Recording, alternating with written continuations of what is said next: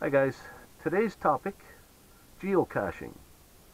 I've had quite a few requests on uh, how to play the game and uh, what do you need to do to, to get started. So let's get into it.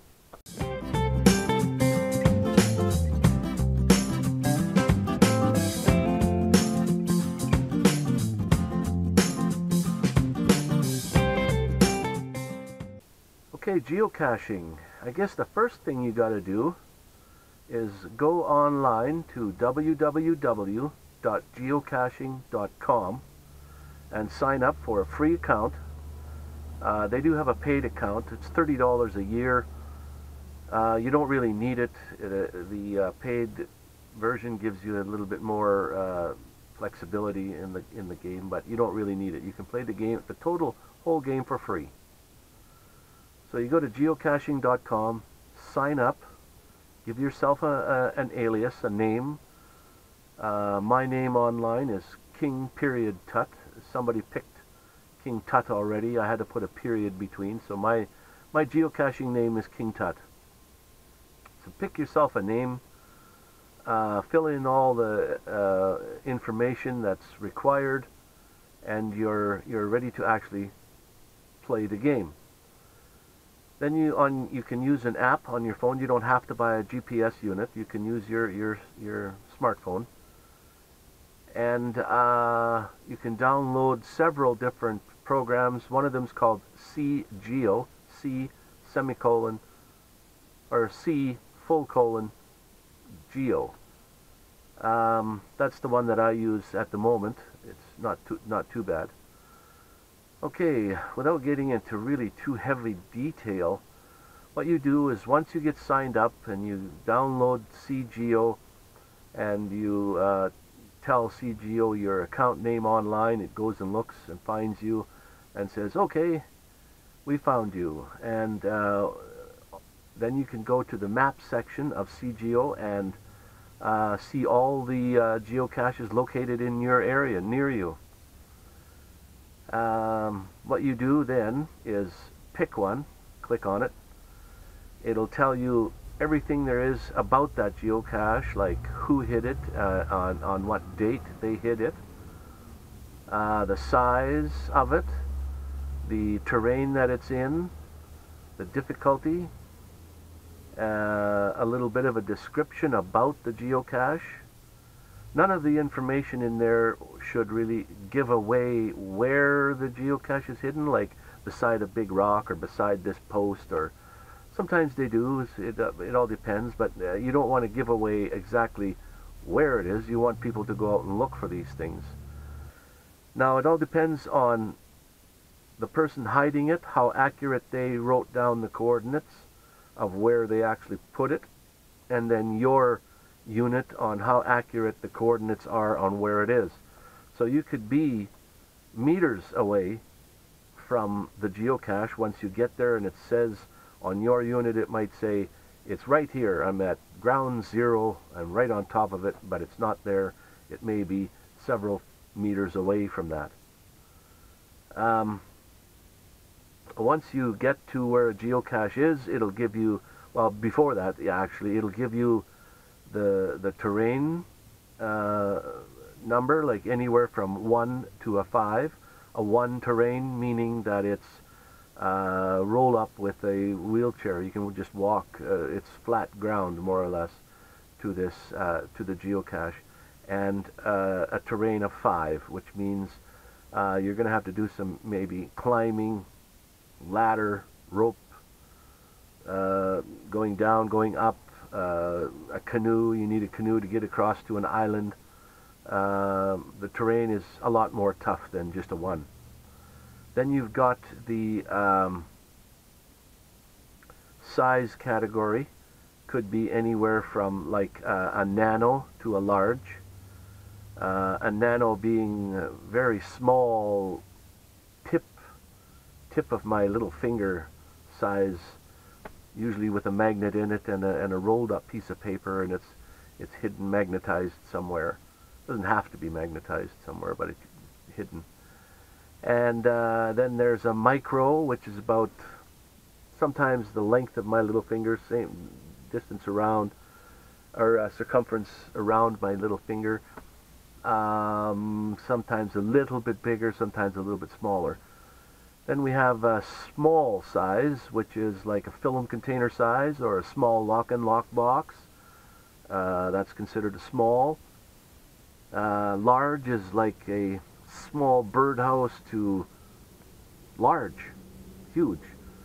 Uh, I've seen them as big as a tent. Actually, they were a tent. Uh, so there's a lot of different sizes. Um, the terrain, and also the uh, difficulty.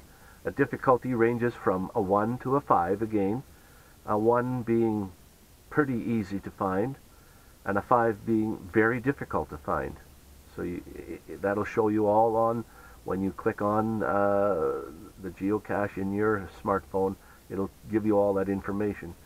And it, will give you the description of it and sometimes a little bit of a hint in the description on either what, what, what you're looking for. Hiding them, anyone can hide a geocache. And there's a lot of different uh, cr uh, criteria on hiding them. Um, you'll never find a geocache several meters away from another geocache. There's a, a, a minimum distance between geocaches, and that is 162 meters apart from each other, or uh, just over 500, um, between 5 and 600 uh, feet away. So you'll never find one geocache and then find one, another one several meters away. That's uh, illegal. So when you go to hide one, you fill out everything online about it. You, you make sure that you know the terrain difficulty uh, between a 1 and a 5. Um, uh, you put all that information on, on uh, geocaching.com. You fill out your description, your, um, like I said, the difficulty, the size of the unit itself, um, the terrain that it's in, uh, your little bit of a description. Then you send it into a reviewer who reviews your geocache and he'll come back and say, yes, it's okay and it's open up to the public, it's published, and then the public can look at the coordinates and uh, go and discover your, your geocaches. And then you'll get notified every time someone goes out and finds it. And the better someone likes it, they may give you a, like a, a, a little favorite check mark saying that this was a cool geocache and uh, you get a favorite. And sometimes when you get a lot of favorites on a geocache, uh, that entices other geocaches to go find this because there must be something special about it.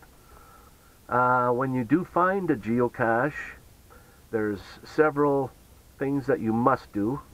If you do find one, uh, you must find the logbook in it, sign the logbook, and then put the logbook and everything back the way you found it and uh, put it back in its proper location. Uh, that's the that's all that's required and then you go online and log the find and say that you found it or DNF did not find I was out of geocaching for a couple of years and a couple of friends of mine uh, kind of talked me back into it again. Uh, there's a, a, guy named Darren, uh, DSK11, who uh, looks after my mail for me, actually. Um, he kind of helped talk me back into this, and then there's some girl, uh, Gina, uh, Lucky Stars, who uh, helped talk me back into this.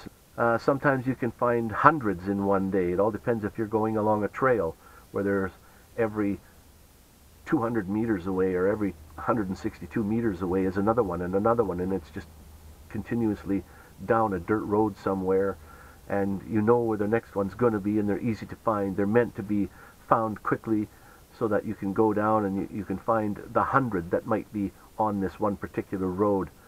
And you can find hundreds in one day or you can find one in one day. It all depends on how you want to play the game, how how far into it you get, how excited you are about getting out and, and searching for these things. And if you don't play the game at all, you don't know that they're there. There could be all over the place. Uh, you walk by them all the time. Uh, people that don't know about geocaching and don't play the game, uh, we call those people muggles, just like they do on uh, Harry Potter. They're called muggles. They don't know about the game. They don't know what you're doing. So some geocaches are hidden where there's a lot of people walking around. There's, it's very busy with people at certain times of the day. And you don't want to really go and search these things out right in front of all these muggles because what happens there is if you're searching around and there's people walking around they're looking at you and, and you find this, you reach in behind something and you find this and you sign the logbook and you put it back where you found it now somebody that doesn't know anything about the game is going to go and see where you, what you're doing there, and they're going to grab this thing and they may keep it or throw it in the garbage or they might just put it that you don't know what they're going to do with it because they don't know that it's geocaching. So when there's people around, you've got to be very discreet. You can do it in front of other people. Just be very discreet about it or come back at another time when there's not so many people around or when there's none and find it that way. So the muggles you got to worry about. I forgot to mention the size. Uh, anywhere from, like I said, um, uh, a nano to a micro to a small to a large. A nano and a micro are so small that you can't put anything in them.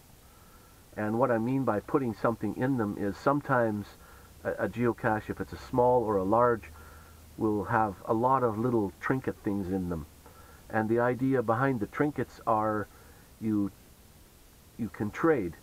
If you have like a fridge magnet or a, a little figurine, a tiny little figurine that you take with you, you find a small or a large geocache and it's just got a whole bunch of little figurines in it or little things in it and you put yours in it and take one out and you've traded. That's another uh, criteria of geocaching. If you take something out, you must put something in.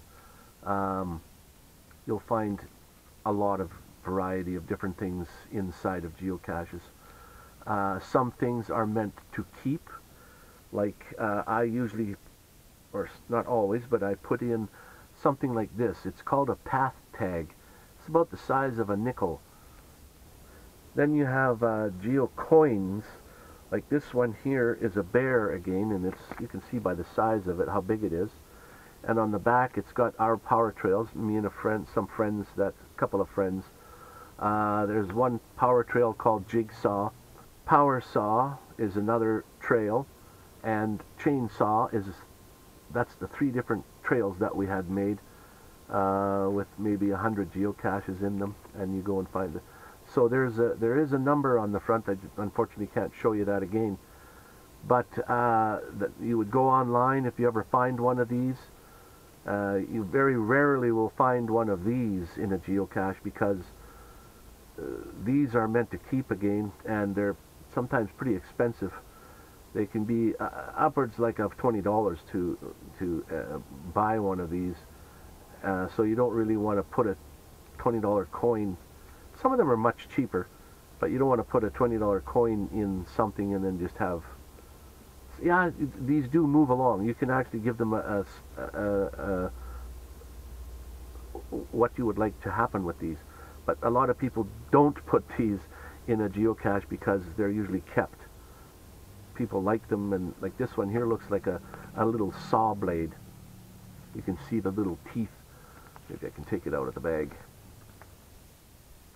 You can see the little teeth around it and it's called a geocaching coin. So you'll find just about anything and everything in a geocache. Some to be moved some are not to be moved. Uh, they're made to just trade some are meant to keep now, as far as hides go, um, where I'm from is Medicine Hat. We have an event here every uh, year, the end of August. It's called the SAW event. Uh, South Alberta weekend, Southern Alberta weekend. I prefer South Alberta weekend. Um, It's uh, the last week in August, and people come from hundreds of miles away to uh, discover the, the geocaches that were hidden for that event. And the local people that are part of geocaching, they hide several new geocaches just for the event, and they're all published uh, on the day of or the day before, and then everybody that has come from wherever, uh, they all go out for that day and find as many of those new geocaches as you possibly can. Some people do geocaching for 24 hours. They go out and try to find every single one of them. And uh, there's a couple of people in town uh, that are very good at uh, how they hide or um, what the container is, and they're very, very well known. There's there's several of them that are very very good at this. Um, I hate to pat my own back, but I used to be one of them that was uh, that pe people would hear King Tut and they would say, "Oh, King Tut has this geocache over there. Let's go have a look," because he always has some some good good things. And there's there's quite a few people that have excellent geocaches, and people come and find try to find these particular ones. Um, the reason they want to find mine is because they were uh, not necessarily well built or anything. It's just that sometimes they were right there in plain view. Uh, you drive up, you walk up, you whatever you do, it, they're right there. You see it, there it is. Now you have to remember, you have to sign the logbook and put everything back the way you found it. So mine are, you found the geocache, yes, but now how do you get into it? Or how do you, where's the paper? Where's the logbook? How do you, uh, how do you sign the logbook if you can't find the logbook? Sometimes it's very, very, very tricky on, you think you found the geocache and it's easy to, uh, to sign the logbook, but not so. So I hope uh, this helps even veteran uh, geocachers. Um, I'm sure they won't get in very much out of this, but any that don't, the ones that asked about geocaching, I hope I've explained a little bit to you on how to get started, how to play the game. Uh, this might help you decide whether you really want to do this or not. Uh, you might have several just around your block, wherever you live. Um, and I appreciate anyone that watches my videos to either comment on on this geocaching saying uh, yeah you've heard about it or you like it or you you are a geocacher or uh, thank you for helping me decide whether I want to be a geocacher or not. Uh, give me the thumbs thumbs up and comment down below uh, letting me know what you think of the geocaching. Um, and uh, that's just about it for as, as much as geocaching is. And thank you to all my subscribers. I appreciate each and every one of you. Thank you for commenting. And anybody that's watching that hasn't uh, subscribed, please do so. Uh, and, and, ring the little bell up in the corner.